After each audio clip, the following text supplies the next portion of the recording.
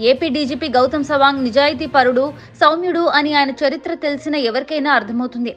ఆ అర్హతలు ఒక ఉన్నత పదవికి సరిపోవు. ఒక శాఖను నడపడంలో సమర్థత కూడా ఉండాలి. ఆ సమర్థత ముఖ్యమంత్రికి నచ్చాలి. డీజీపీ చీఫ్ సెక్రటరీ బాధ్యతలు కత్తి మీద సాము లాంటివి. ముఖ్యమంత్రి కనసన్నులో విధులు నిర్వహిస్తుండాలి ఆ ఇద్దరు. ఏమాత్రం చిన్న పొరపాటు దొర్లినా వారు ముఖ్యమంత్రి ఆగ్రహానికి గురి కావాల్సిందే. జగన్మోహన్ రెడ్డి అధికారులను ఎంతో గౌరవిస్తారు. పార్టీ నాయకుల కన్నా ఆయన అధికారులను నమ్ముతారు. కానీ ప్రవీణ్ ప్రకాష్ లాంటి అధికారులు జగన్ నమ్మకాన్ని వమ్ము చేస్తారు.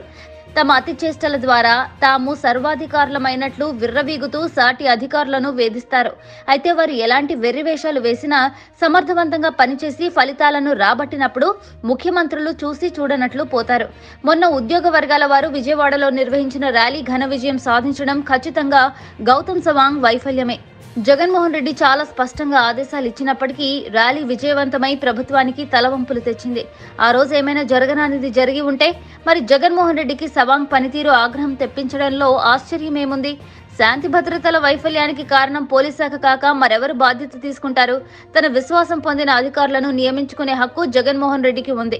గతంలో చంద్రబాబు ఆనందరావు అనే ఒక ఐఏఎస్ను చీఫ్ సెక్రటరీగా నియమించుకొని కొద్ది రోజుల్లోనే తొలగించారు. ఆ విషయం చంద్రబాబుకు వృద్ధాప్య సమస్యల కారణంగా ఇప్పుడు గుర్తుండకపోవచ్చు.